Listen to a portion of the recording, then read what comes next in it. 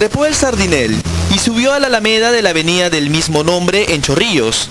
Estaba en evidente estado de ebriedad y trataba de esta manera a los policías de la zona.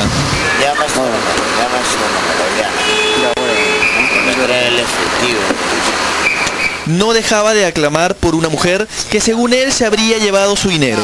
Diana, asquerosa. Hay que me traiga mi plata.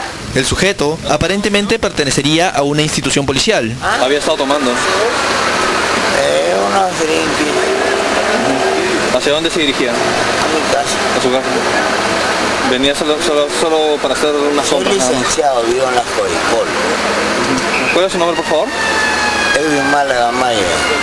Pese a tener varias heridas de consideración, fue llevado en un patrullero en vez de ser trasladado por los bomberos. El daño causado en la vía pública es cuantioso. Nuevamente el alcohol y el volante terminaron siendo la peor dupla. Lo que le estoy preguntando si ha tomado, no si se ha estrellado. A ver,